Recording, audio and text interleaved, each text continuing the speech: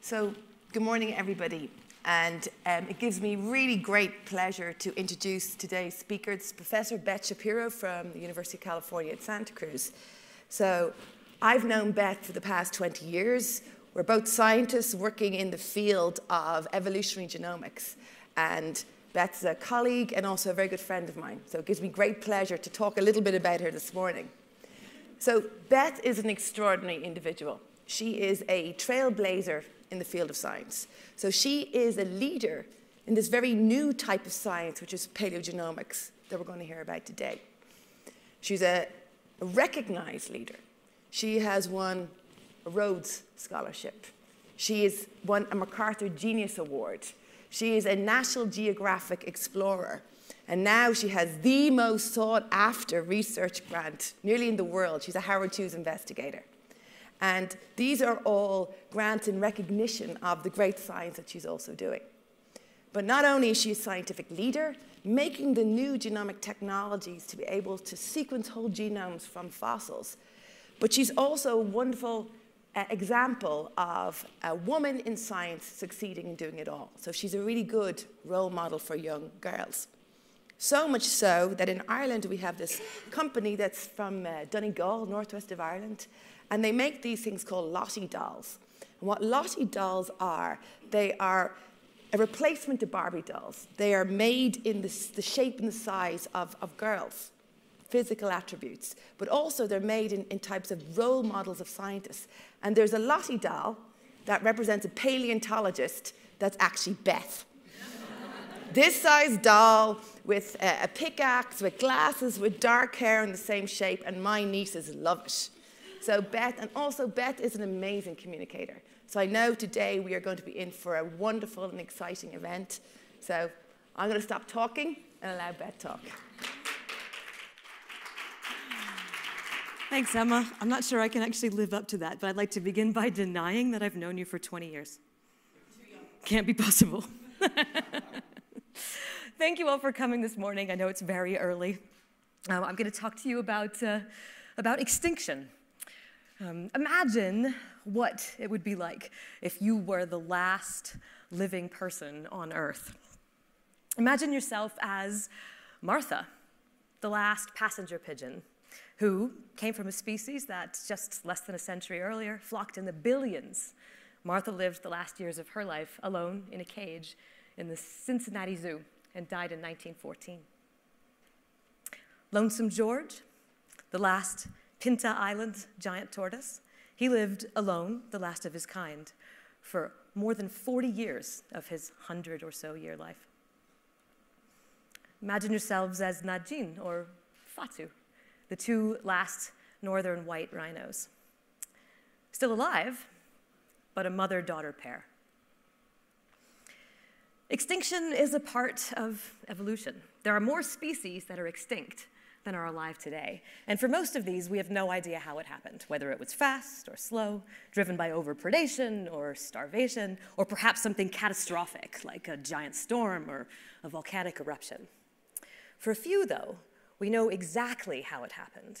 And today, I'm going to tell you one of those extinction stories that of the mammoth, the large, cold adapted elephant that, until rather recently, was found across all of the continents in the Northern Hemisphere.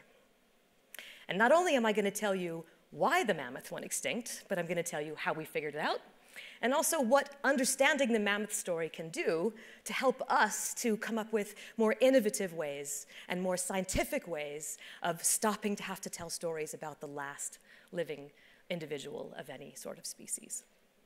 So I'm a paleogeneticist. I don't expect you to know what that means because it's not a real thing. I'm both a paleontologist, that means I study plants and animals that used to be alive, and a geneticist, that means not only do I take pictures and measure and look at the bones and other remains, but I also take a little piece of that and grind it up and extract their DNA. And using that DNA, I can reconstruct the history of life on Earth.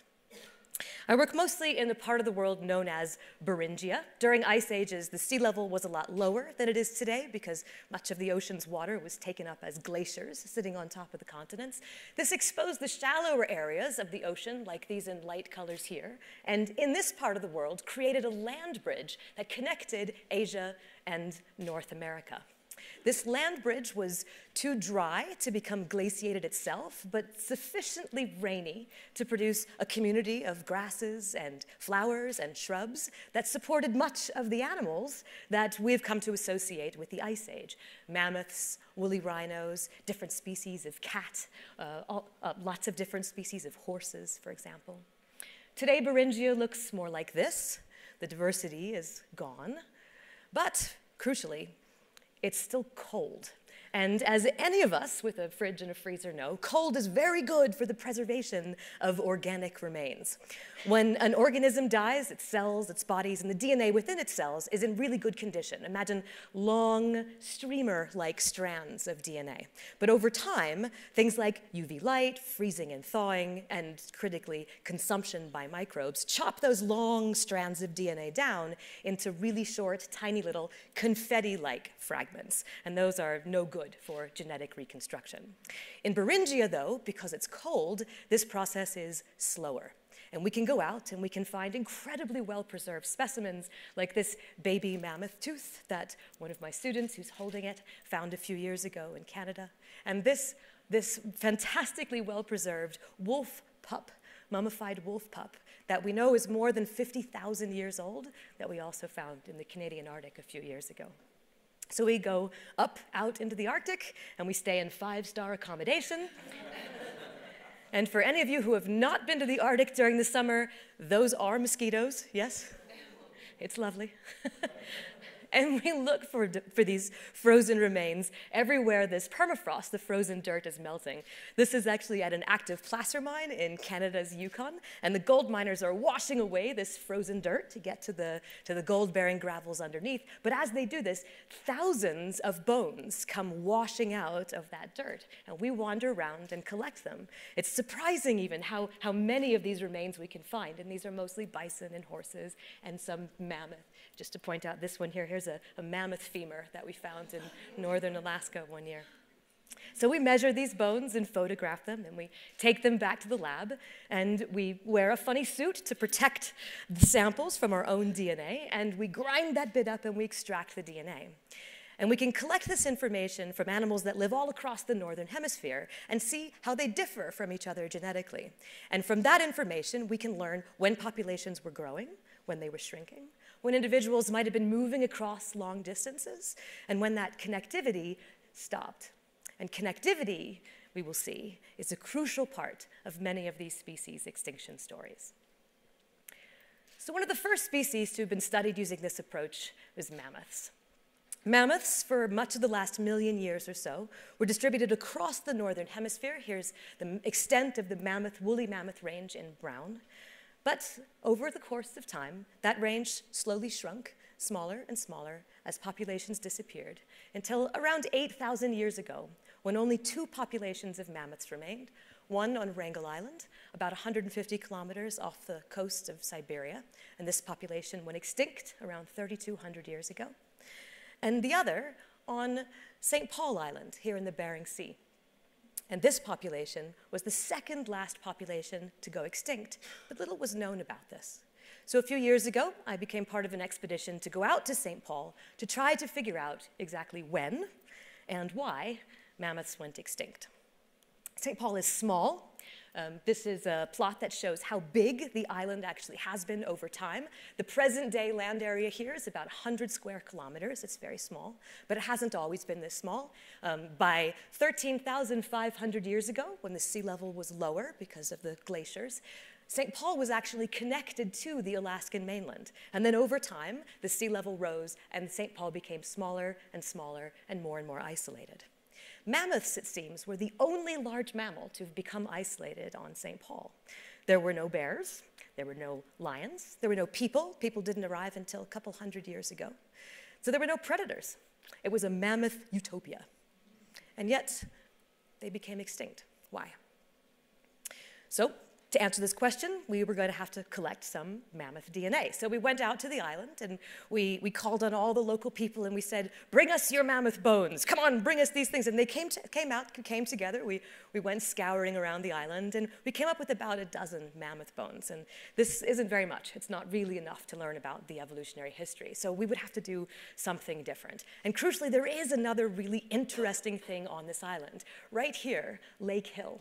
This is a hill with a lake in it. It's actually the cone of a collapsed volcano. It looks like this today and the children on the island use it for swimming during the summertime. But lakes are actually really brilliant for ancient DNA because they are a kind of sink for genetic material. During the summer, the wind blows in the plants and the pollen and the leaves. There are things living in the ocean. It is the only source of fresh water on St. Paul, so all the animals that are there will come up to the island and wander in to drink that fresh water, and in doing so, will deposit their own DNA. And every year, that DNA will sink to the very bottom of the lake, and then it freezes, and then the same thing happens the next year. So over time, you get accumulation, like a stratigraphy of layer upon layer of everyone that was present on the island from the past to the present day. If we could get this copy, a copy of this, we could figure out who was there, when, and with whom. So during the winter, we went out into the middle of Lake Hill on a boat, on a sled, and we drilled a long core through the lake, through the dirt, all the way to the gravels at the bottom, and we sucked that long column out of the lake, took it back to the lab, and split it in half. And then we went through, and from the very bottom, which we learned later was about 17,000 years ago, we took tiny little plugs of DNA all the way to the top, to the present DNA, present day. And we looked in those tiny plugs of DNA for mammoth DNA, if mammoth DNA was present, mammoths were there. If it wasn't present, mammoths weren't there. We looked at the vegetation community to ask whether the plants were changing over time. We looked at some components of the lake itself. These are tiny little microscopic algae and microscopic animals that can tell us whether the lake was salty or not, how shallow the lake was, for example. And we looked for this other kind of cool thing, which is called Sporormiella. It's a type of fungus that only grows on the poops of large mammals. So, in case we couldn't find mammoth DNA, if we found this, it would tell us that mammoths were, were probably there. They were the only large mammal on the island. And with all of these data, we actually solved, solved, the, solved the mystery. We found that mammoth DNA was present all the way from the bottom until around 5,600 years ago. And Sporormiella, the dung fungus, the same, also until about 5,600 years ago, and then gone until about 250 years ago when the dung fungus comes back, at the same time as we know that Russian fur traders were bringing caribou to the island. We asked, so this is exactly when they went extinct, 5,600 years ago. But why? We looked at the vegetation, nothing changed. So they didn't run out of food. But everything else about the lake changed. The water chemistry changed, the rate of sediment accumulation changed, and that community of microorganisms completely turned over from a community that really likes to live in clear, deep, fresh water to a community that prefers to live in very shallow, cloudy, and slightly salty water. Together, these data tell us what happened. Around 5,600 years ago, St. Paul Island experienced a severe weather event, a drought.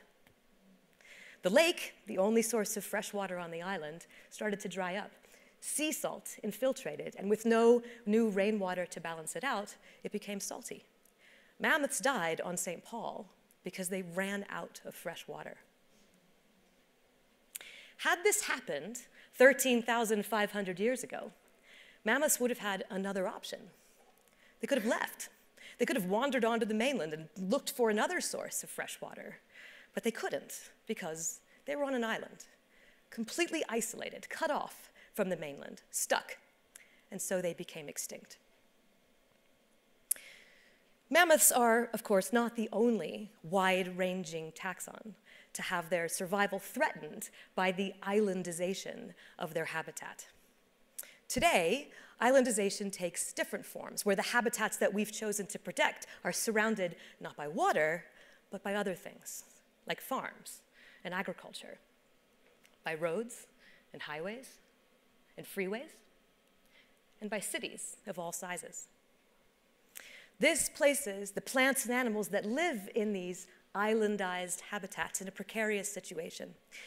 Any extreme weather event, the introduction of a predator or a disease, any of these things can upset the balance of interactions taking place within these island habitats, potentially leading to extinction.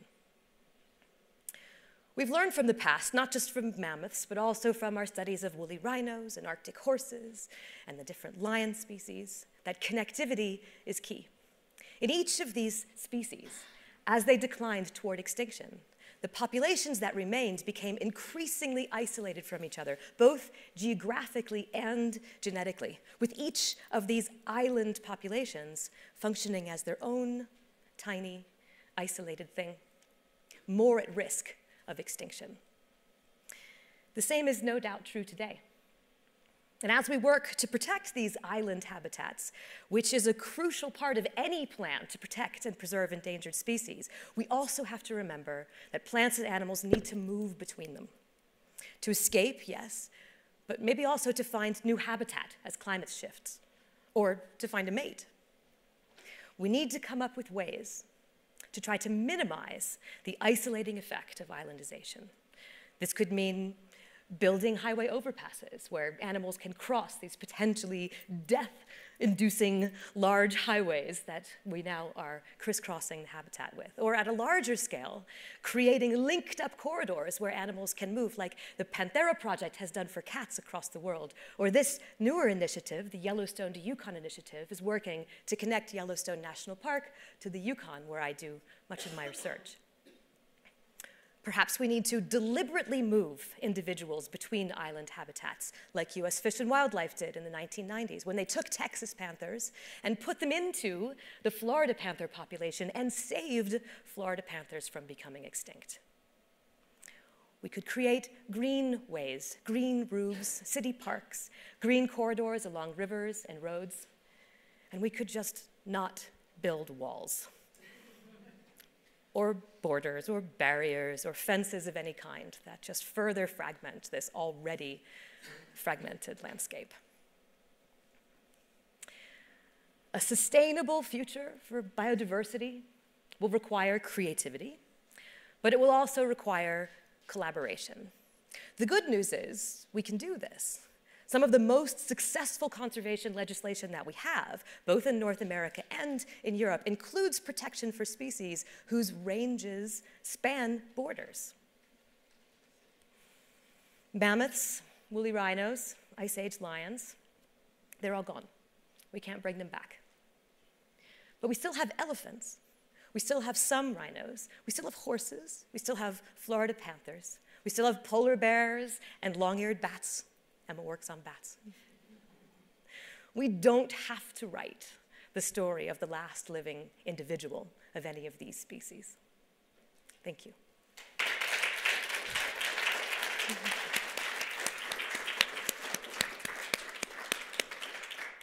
That was brilliant as always. Thank you, Emma. Very entertaining, very inspiring, and also a little bit stressful. so, you've said that we can't bring them back. But you've written a book, How to Clone a Mammoth. Right. So maybe you can bring them back.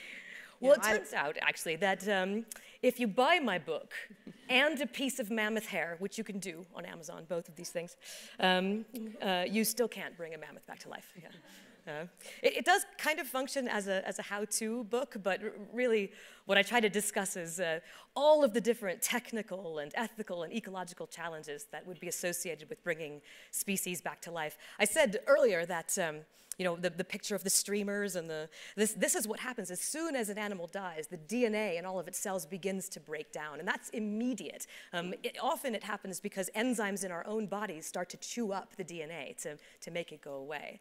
And when we think about bringing extinct species back to life, the first thing we think of is cloning, cloning like Dolly the sheep type cloning. That requires a living cell. You have to start with a living cell. There are no living mammoth cells, so there will never be a cloned mammoth. There are technologies, though, the new CRISPR gene editing technologies, where if we learn the sequences of the genomes of lots of Asian elephants, that's the closest living relative of a mammoth, and also of lots of mammoths, and we have done that, we can line them up on a computer and figure out exactly where they're different from each other. It turns out there's about a million and a half places in four billion bases, nucleotides, the letters that make up your genome, where mammoths and Asian elephants differ from each other. We could then use CRISPR gene editing to swap these out, a million and a half swaps. Can't do that yet, right? But imagine that someday you might be able to do that. And then you would have a living cell, a living elephant cell that you have edited to be more mammoth like. Of course, then you would have to figure out how to turn that into an animal, which is another several stages of technical hurdles that we, we haven't quite figured out how to do yet. Um, a lot of people like to think about surrogacy. Could we use an Asian elephant mom as a, as a surrogate host? And it turns out that I, I used to think that the problem would be size. You know, an Asian elephant is smaller than a mammoth, and therefore, yikes. turns out, no, they're, they're actually about the same size. So that the size is not a problem. The problem is that evolutionary distance. They are about as different from each other as we are from a chimpanzee. And I don't think it would be possible for a chimpanzee mom to incubate a human baby or the other way around. Not there yet. there's Not yet, anyway. Yeah, there's, there's more to this whole biology thing, I think, than, than we're, we're, we're really understanding. So Try hard. That doesn't mean that it's not good technology, though. I, I, I like to say this it's fascinating technology, it's great to think about, but I really do think that there is room to use this exact same technology to try to preserve species that are alive today. Yeah. Now, I'm going to open up, and we must have some questions from the audience. Anybody burning desire to ask something? Oh, hold on one second. We're going to give you a microphone so the people at home can hear.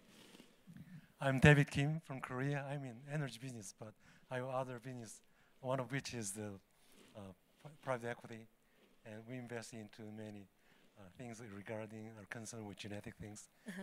And my, one of my dreams is I, if I make enough money, I like to set up or create a zoo which is taking care of the endangered species. Do you think that's a good idea?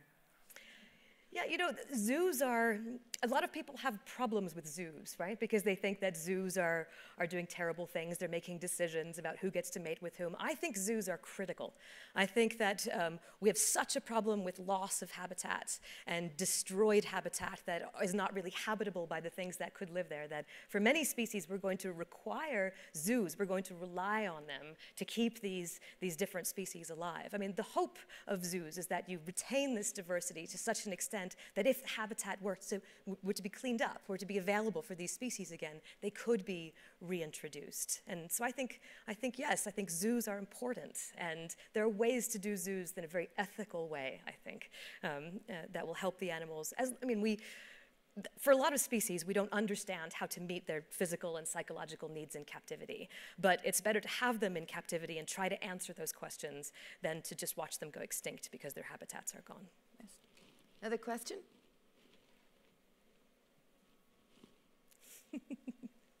Everybody's just sad. so I suppose I will have a question for you again. I've lots of questions always oh for you. But so the idea of the zoos, mm. that you have these nearly extinct, wonderful species in these zoos. But one of the big problem with species going extinct is that you get less and less and less and less individuals. So you don't have enough genetic diversity. Think of cheetahs. You could take the skin from one cheetah put it onto, sew it onto another cheetah, and they don't reject it. They recognize it as self.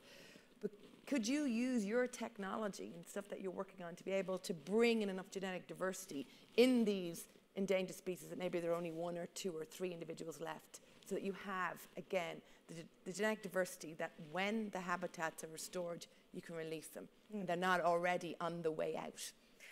So I, I'm going to answer two parts of that question. The first has to do with genetic diversity. Um, we often think of genetic diversity as this key marker for species' ability to survive.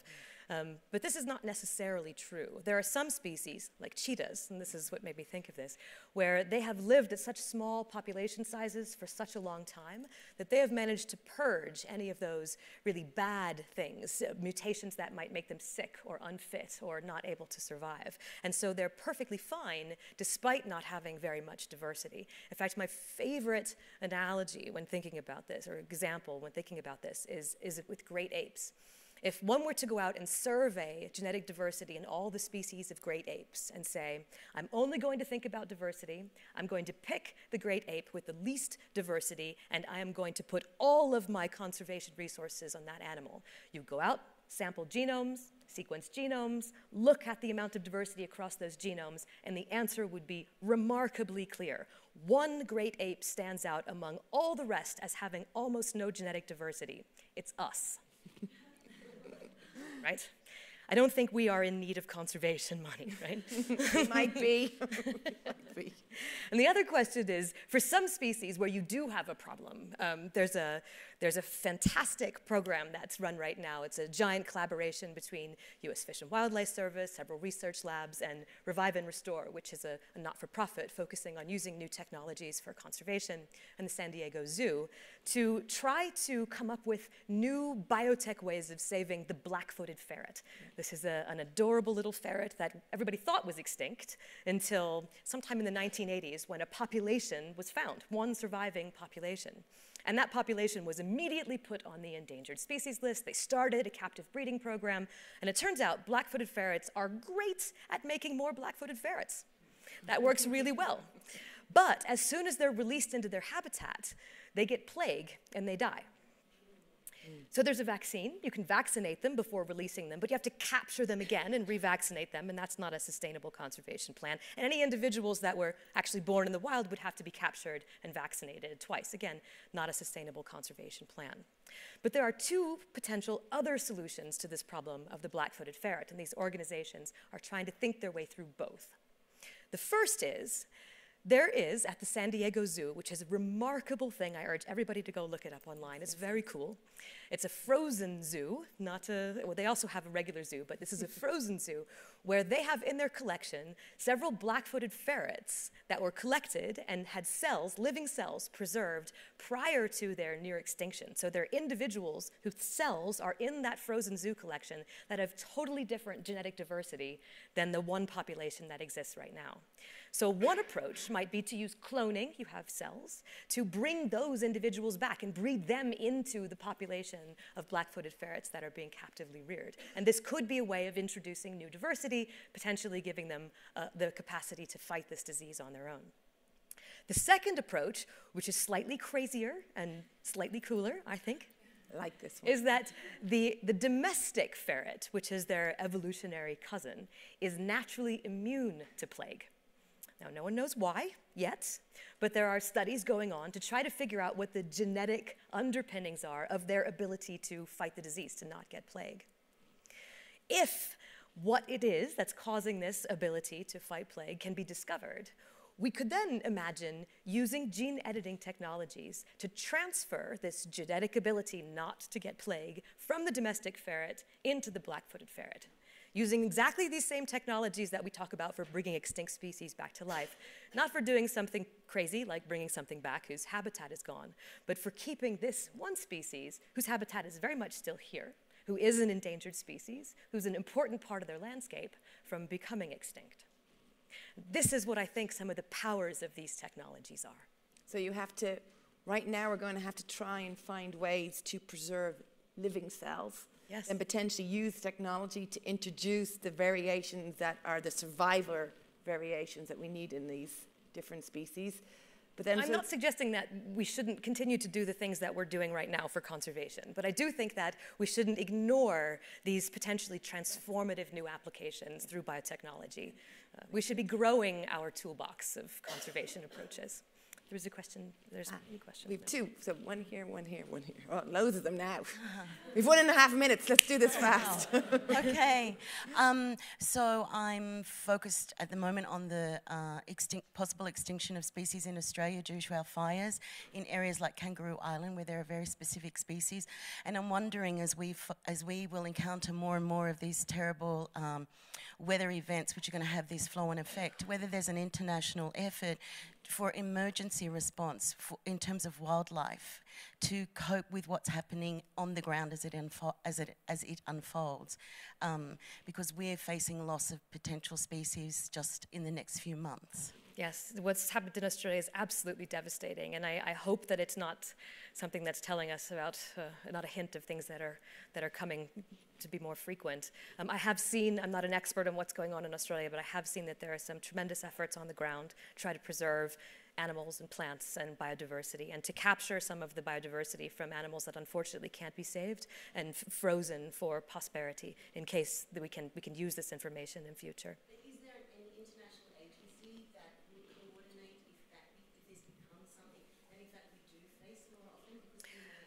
I don't know the answer to that. I know that the, the Frozen Zoo in San Diego is part of an international collaboration of zoos that are trying to do similar things like this.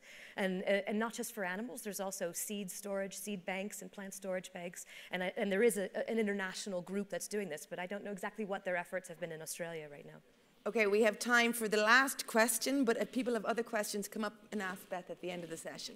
So last I, one, please. Uh, what's the possibility of quantum computing helping you do a lot of this acceleration or work around that? I know some work has happened on University of California trying to adopt some quantum uh, algos, but in your field, do you see uh, this helping you achieve quantum goals? computing? That's an interesting question. I, I you know, I'm, I think where, where our bottlenecks are are in um, sequencing and aligning multiple genomes. Uh, we have a, the very strongest bottleneck is even if we can generate these 4 billion letter genomes for all the different species, trying to figure out how they line up next to each other is a, is a hard compute problem. It takes a lot of time. Uh, and I'm, I'm, sure there's some application for, for more advanced computing to, to help us get to the bottom of that. The reason that's useful is if we can line up everything that we know is alive and we can find places in the genome that actually are conserved across all of life, we can learn that those are important fundamental bits of the genome that can't be mutated, can't be changed if we want those species to survive. So on that note, I want to say we need to sequence the genome of all of living life. Yes. um, we need to try and find ways to avoid this happening again and to thank Professor Beth Shapiro for a wonderful talk. Thank you.